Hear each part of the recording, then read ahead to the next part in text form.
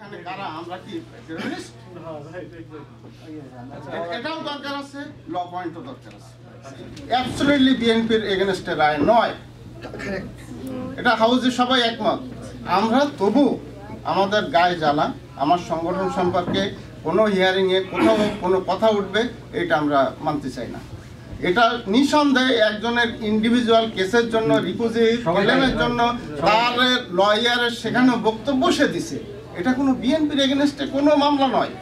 কোনো আলোচ্য বিষয় না তারপরেও আমরা আমাদের বিএনপির সদস্যরা ভাইরা অনেক কি বলে এই রিপুজি কেলেম কেসের আওতাভুক্ত।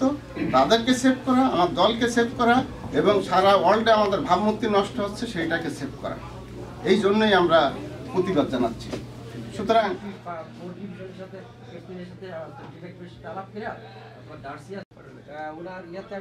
যে সে তার স্বার্থ উদ্ধার করার জন্য সে বিএনপিকে ব্লেম দিছে, আবার আওয়ামী লীগের সাইড দিছে, আবার বলছে আমি ছিলাম, আমি বোম মারি নাই, কিন্তু মারছে হচ্ছে আপনার ইয়ারা। এই আমার দলের দলের লোক যারা আমার সাথে ছিল, আমাকে ফোর্স করছিল মারার জন্য, এই জন্য আমি পালাই আসছি। আমার আত্মরক্ষা বাসে বোম দেওয়ার জন্য চেষ্টা করছিল, বিভিন্ন জায়গায় পেট্রোল বোমা বানাইতে চেষ্টা করছিল, কিন্তু আমি করিনি। কিন্তু আমার সাথে করেন মিলন ভাই আছে, আজাদ আছে, এরা করছে, কিন্তু আমি মাঝখানে ছিলাম। তার ইয়েটা ছিল মূল উদ্দেশ্যটা ছিল সে কীভাবে কেসটা পাবে। তার ইয়ে দরকার হলে কেনেডিয়ান সিটিজেন তার কিন্তু দরকার নেই বিএনপি বা বিএনপির সাইডে লাগানোর। তার লাগানোর অর্থটাই যে সে ভাবছিল সে কেসটা পাবে। তা আমরা সবাই সুচ্চার হব। আর যে আমাদের একটা জিনিস খেয়াল রাখতে হবে ওই এমবেসি টেম্বেসির দ্বারা আমাদের তেমন কোনো কাজ হবে না। এমবেসি কে? এটা তো আমরা সবাই জানি এমবেসি আমাদের পরে কাজ করবে না, এমবেসি করবে গভর্নমেন্টের পরে, বাংলাদেশ গভর্নমেন্টের পরে। বাংলাদেশ গভর্নমেন্টই আমাদের বিরুদ্ধে এমবেসি আমাদের কী করবে? আমাদের উচিত যেটা আমাদের আনোয়ার কবির ভাই বলছে, আমরা ইমিগ্রেশন মিনিস্টারের কাছে যেতে হবে, এবং যাওয়ার আগে কী করতে হবে? আমরা ভালো লয়ার নিতে হবে। এবং ভালো লয়ার নেওয়ার আগে আমাদের কী করতে হবে? আমাদের মেইন জিনিসগুলো আমরা ডকুমেন্টারি জিনিসগুলো আমরা কালেক্ট করতে হবে। আমরা মুখে যেয়ে বললে হবে না। যে আমরা এই ভালো লোক, আমরা এইটা, ওইটা, আমরা কিছু করি নাই আওয়ামী লীগ সব কিছু করছে। আপনি কী ডকুমেন্ট আপনার কাছে আছে? আপনার কাছে আছে? লগি বইটার কোনো ঘটনা আছে আপনার কাছে? কোনো কিছু নেই। আপনি একটা লোক, একটা বোমা মারছে এক জায়গায়, পেট্রোল বোমা, ওইটার ডকুমেন্ট তাদের কাছে আছে। আর তিনশো চারশো পৃষ্ঠার বই বানাইছে। আমাদের কাছে লগি বইটারও নাই। যে হাসিনা লগি বইটার অর্ডার দিয়ে মানুষ মেরে লাশের উপরে ছাত্রলীগরা আপনার লাফালাফি করছে? ওই ওইগুলো আমাদের কাছে নেই। তা আমরা কি করব? এনিওয়ে ফরগেট ইট পিছনের জিনিস আলাপ করে লাভ নাই। এখন আমাদের কি করতে হতে হবে।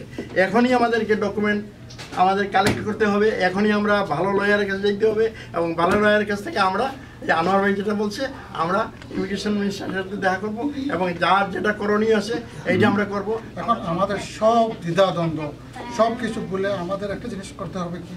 বিএনপিকে বাঁচাতে হবে। এই যে জাজমেন্ট যেটা হয়েছে, এই ধরনের যদি দুই তিনটা জাজমেন্ট হওয়ার পরে যদি হইতে থাকে, এটা ইউরোপে চলে যাবে।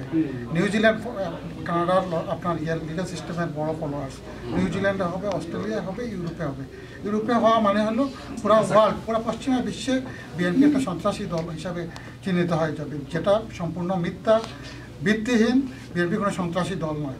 এখন এই যে রায়ের ব্যাপারে আমি যেটা আগেও বলছি এই যে রায় আসছে যেটা একজন ব্যক্তি বিশেষের দেওয়া তথ্যের ভিত্তিতে এই যে ব্যক্তি সে বিএনপির সাথে কোনোদিন সংশ্লিষ্ট ছিল না। বিএনপি রাজনৈতিক স্বেচ্ছাসেবক দল সাহিত্য সম্পাদক এগুলা এগুলো এগুলো সম্পূর্ণ এগুলো সম্পূর্ণ মিথ্যা। এগুলা সে তার নিজের স্বার্থ এবং হাসিলের জন্য। এবং আরও ব্যক্তি বিশেষের বা মহল বিশেষের স্বার্থ চরিতার্থ করার জন্য সে এটা করছে। এইটার আমরা তীব্র নিন্দা এই সবার পক্ষ থেকে, তীব্র নিন্দা ও প্রতিবাদ জানাই। আমরা পত্র পত্রিকায় আন্তর্জাতিক মিডিয়ায় বিশ্ব, সারা বিশ্বের জাতীয়তাবাদী দেশপ্রেমিক শক্তি কানাডার দিকে তাকিয়ে। আমাদের কিন্তু বিত হলে চলবে না। আমাদের কথা বলতে হবে। আমাদের বলতে হবে যে আমরা শহীদ জিয়ার আদর্শের বিশ্বাসী দল। এই দলের সদস্যরা সন্ত্রাসী হইতে পারে না। এই দলের কর্মীরা দেশপ্রেমী।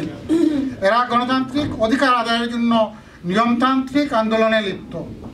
বাংলাদেশে জনগণের অধিকার আদায় না হওয়া পর্যন্ত, বাংলাদেশে এক্সট্রা জুডিশিয়ালি কিলিং বন্ধ না হওয়া পর্যন্ত এই দলের কর্মীরা বাংলাদেশের রাজপথে থাকবে। বিশ্বের যে যেখানে আছে, আমরা যেখানে আছি, আমরা প্রাণ লড়াই চালিয়ে যাব।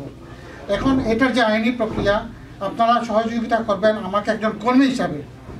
আপনাকে একজন কর্মী হিসাবে যে জায়গায় দরকার আপনাদের কাজে লাগাবেন, আমরা ইনশাল্লাহ এই যে এই কলঙ্ক যেটা অত্যন্ত আপনার চক্রান্ত, অত্যন্ত বিদ্বেষপূর্ণভাবে একটা বিশাল চক্রান্তের অংশ হিসাবে যেটা বিএনপির গায়ে লেপন করা হয়েছে, আমরা এটা মুছে দেবো।